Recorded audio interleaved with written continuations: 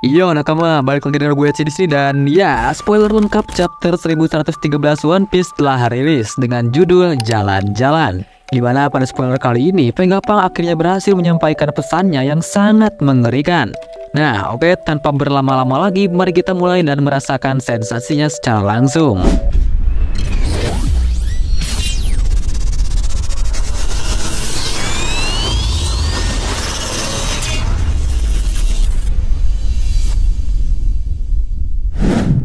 Chapter pun berlanjut di dalam ruangan yang sangat gelap seperti di alam kubur.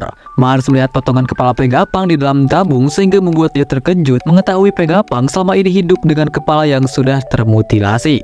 Di sini Gorosei Mars mengoceh, apa sebenarnya kematian itu, di mana kesadaran itu berada, dan di mana sebenarnya kamu berada, Pegapang. Gorosei Mars kemudian menghancurkan denden musi live streaming, tapi itu ternyata denden KW buatan Cina. Dan di sini Gorosei Mars pun kesal dan mencari denden musi asli karena siarannya sudah mau dimulai. Kita pun diperlihatkan orang-orang dari seluruh dunia mulai menyetel denden TV mereka untuk melihat siaran langsung podcast dari Pegapang. Kita pun diperlihatkan ke beberapa tempat yang berbeda di mana orang-orangnya sedang mau nonton Pegabang. Hitungan mundur podcast pun akan segera dimulai dan ya, 3 2 1 saatnya podcast Pegabang dimulai.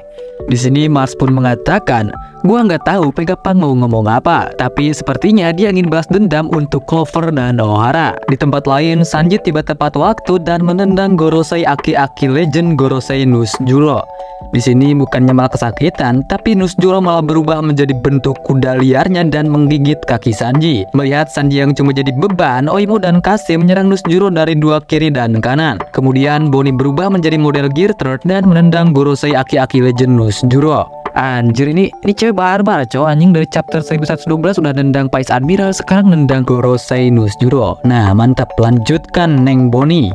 Oke kita pun beralih lagi ke isi podcast. Di sini Pegapang pun mengatakan jadi gini aku tuh udah melakukan dua dosa besar. Jadi kemungkinan aku akan ditangkap atau dibunuh itu sangat besar sekali ya guys. Jadi kalau kalian saat ini sedang menonton podcast ini itu artinya aku sudah mati. Tapi tolonglah subscribe dulu biar makin gede terutama channel Etsy ini. Nah, oke lah. Oke, anjing, gak usah basa-basi lagi. Mari kita lanjut. Dan kita pun akan melihat reaksi atas kemungkinan matinya Pegapang. Di sini sisi Serkon menangis karena dia merasa sudah bekerja sia-sia karena nggak bisa membuat Pegapang mengakui kehebatannya. Dupa pun bertanya-tanya mengapa Pegapang bisa tewas padahal dia sedang ditawan Sanji dan kelompok tepi jerami. Di sini Lord Morgan pun marah, dia pun mengatakan, Podcast seperti ini akan membuat penjualan surat kabarku anjlok ke inti bumi dan aku bisa bangkrut.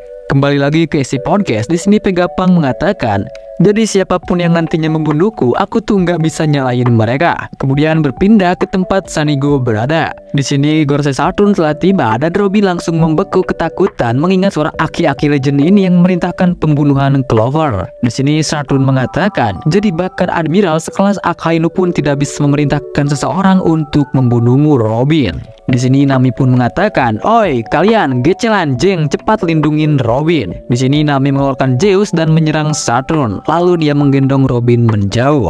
Brook pun mengeluarkan jurus sabetan neraka yang membuat kaki Gorosei Saturn tampak buntung. Chopper kemudian berubah menjadi gede dan siap bertarung. Usopp pun menembakkan peledak tepat ke kepala Gorosei Saturn. Nah, beralih lagi ke Gorosei Mars di mana dia sedang melakukan telepati bersama kakek-kakek legend yang lainnya. Jadi di sini Gorosei Mars bilang, jadi kawan-kawan, apa yang harus kita lakukan? Bagaimana kalau kita ledakan saja pulau ini?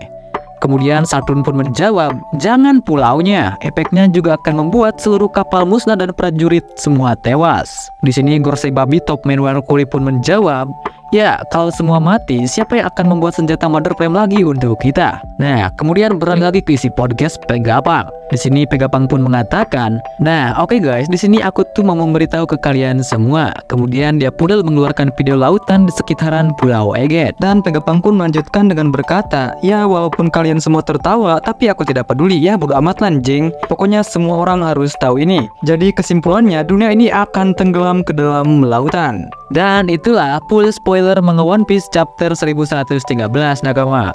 So, jika kalian suka dengan video kali ini, jangan lupa kalian klik tombol like, subscribe, dan aktifin lonceng notifikasinya.